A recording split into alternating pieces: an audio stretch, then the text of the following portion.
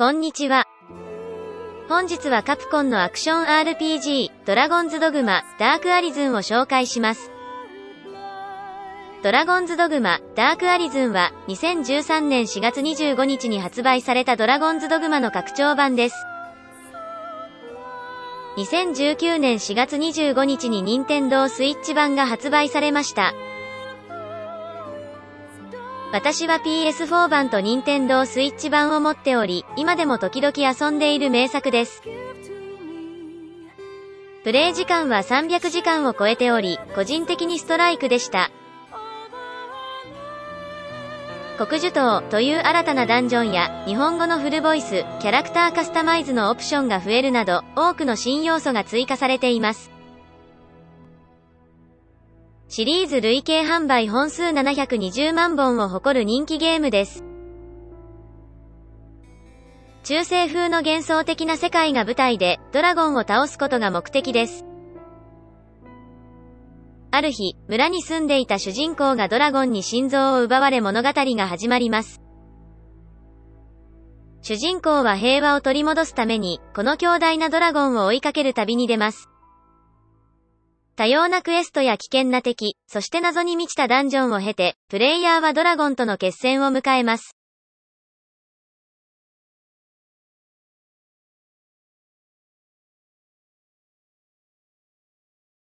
心臓を奪われたものの、生き残った主人公は各社と呼ばれます。途中、プレイヤーはポーンという存在と出会います。これは他の世界から召喚される仲間であり、各社の旅をサポートする役割を果たします。自分で作成できるポーンや他のプレイヤーのポーンも借りれます。育成も可能で育て方次第で難易度が変化します。戦闘中にアイテムを優先的に拾ったり、特攻隊のように突っ込むポーンなどあなたの育て方次第です。プレイヤーだけでなく、ポーンのキャラクリができて愛着が湧きます。かなり細かい設定ができるので、キャラクリしていて楽しかったですね。老若男女、美人からイケメン、面白キャラ等も作れます。ポーンを他のプレイヤーに貸す仕組みもあるので、見た目重視の方もいるようです。悠々白書の限界師範をイメージしました。似ていたのは髪型だけでした、泣き。面白いのは、ポーンの貸し借りができる点です。オンラインにつなぐと一体は自分のポーン、他の2体のポーンを他のプレイヤーから借りることができます。よって、自分のポーンを強くしたり、見た目に力を入れる人が多いです。条件を絞った検索で好みのポーンを借りれます。月間ランキングなどもあり、上位はめちゃくちゃ強いです。なお、ランキング1位はレベル9で私のレベル139のキャラより攻撃力が強かったです。バラ。自分のポーンが雇われると、宿屋などで泊まった時にアイテムや経験値がもらえます。ポーンが借りられると特に嬉しいのは、入手しづらいリムの結晶というものが大量にもらえることです。2023年になっても借りてくれる人がいるため、ポーン育成にも力が入ります。また、雇われ先で知識を学んでくることもあります。他プレイヤーからの評価もありますが、基本的には雇われると良いことだらけです。どうですか？頑張ったつもりですが。雇われてもいなくなることはありません。可能であれば、オンラインで遊ぶことを推奨します。オンラインにつながないと貸し借りできないため注意。ドグマでは、かっこいい装備が多々あります。何を着せるのかも楽しみの一つ。ドラクエの危ない水着のような少しエッチな装備もあります。男性専用、女性専用の装備もあり、見た目、ファッションも楽しめます。話し合いによる教育もできます。自分好みの性格のポーンに成長、変化します。性格によって行動パターンが変化するため、自分の思い通りになかなか動かない点が欠点でしょうか。しかし、それゆえに愛着も湧きます。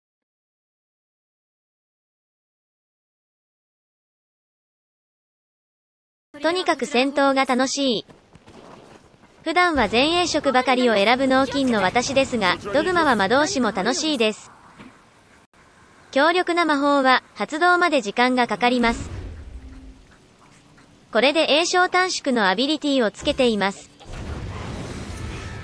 しかし、その分威力は抜群です。メテオのような魔法も打てます。この爽快感がたまらないです。もちろん栄唱の短い魔法も打てます。とにかく、これぞ魔法、という感じで、魔導士でこれだけ面白かったゲームはドグマが初です。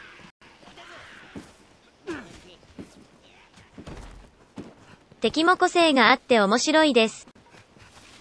空を飛ぶハーピーなどもいます。動きが素早いので、慣れるまでは難しく感じるかもしれません。レベルを上げたり、武器や装備を強化するなど徐々に楽になっていきます。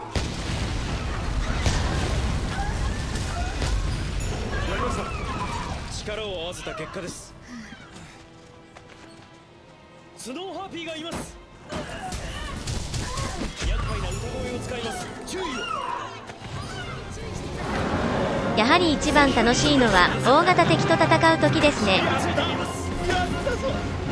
オープンワールドで強い敵も弱い敵もいます。強敵相手でレベルが低いと全滅もあります。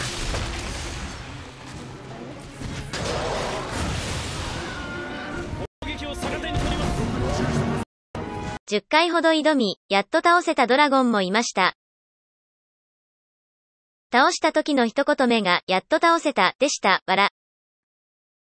ドグマは技や魔法の種類も豊富です。レベル137でも覚えていない技があったりと技の種類は豊富です。なお、レベル137はメインストーリーなら楽にクリアできるレベルです。すべて覚えるには、まだ時間がかかりそうです。ジョブアビリティも豊富で何をつけるか迷います。個人的に良いなと思ったのは、明暗です。暗い場所での戦闘は本当に怖いです。この敵は光っているので良いのですが、光がないと真っ暗で戦うのが怖いです。敵によっては暗さのため朝に戦ったり、ランタンをつけて明るくしないと勝てないかもしれません。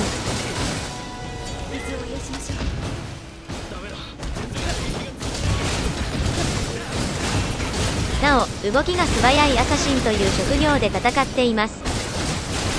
手数の多さと高速移動が楽しいです。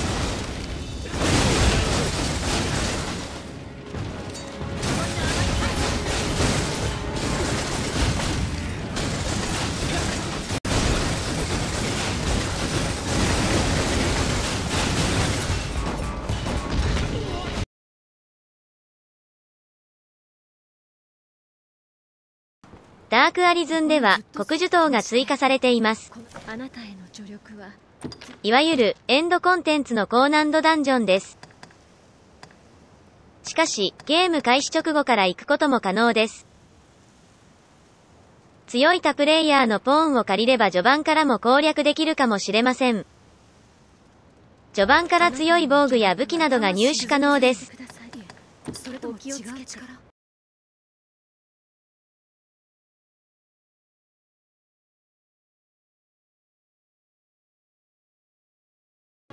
個人的に惜しかったなと思う点もあります。それはアビリティや技はたくさん覚えれてもセットできるのは各6つまでという点です。セットした魔法、技、アビリティは宿屋などの特定の場所でないと変えることができませんでした。またオープンワールドの割にマップが狭く、ティアキンやスカイリム等の3分の1もないです。あとはセーブデータが1つしかない点が残念でした。複数のセーブデータを作成する場合は、新たなユーザーを作成する必要があります。しかし、惜しい点を補う不思議な魅力があります。何度クリアしても、またやりたくなります。主なキャラクターは、声優さんのボイス付きです。現在も一戦で活躍されている声優が多いです。ストーリーだけでなく、サブクエ等も楽しめました。最初はきつくても自分やポーンなどのレベルを上げたり、装備を強力にすると倒しやすくなります。最後に追加要素の黒樹島の強敵とのバトルを流します。ネタバレなど苦手な方はご注意ください。弱点があり、1体だけだったので大型敵の中では倒しやすい敵です。より強敵の大型敵が複数出てくることもあります。よかったらご覧ください。ここまでご視聴ありがとうございました。動画が良ければグッドボタン、チャンネル登録お願いします。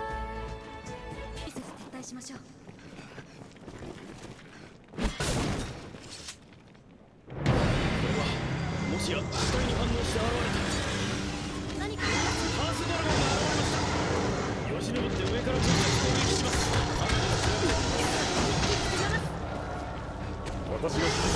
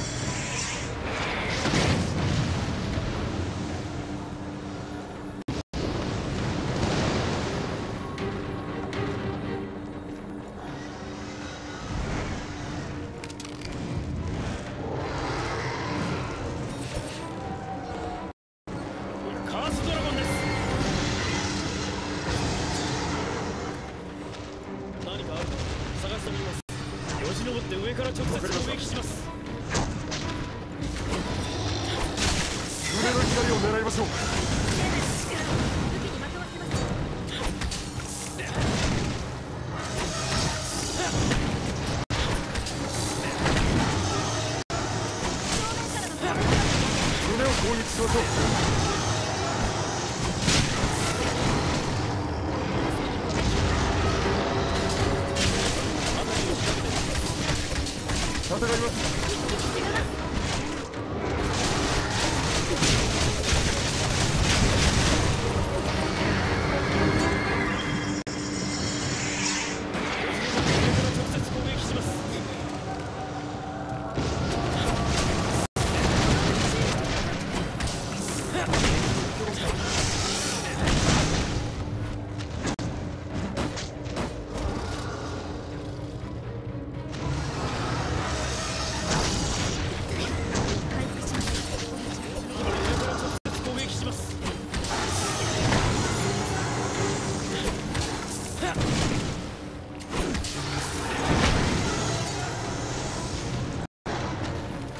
光を狙いましょう。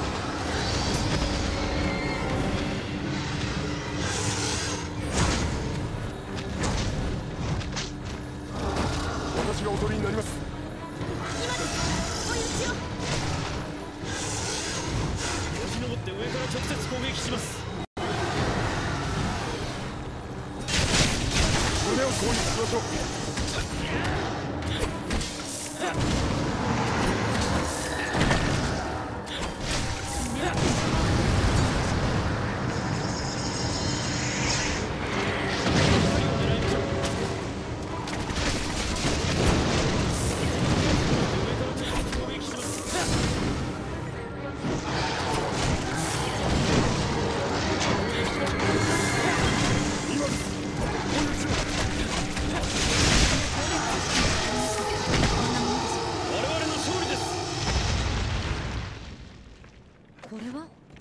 しておきます。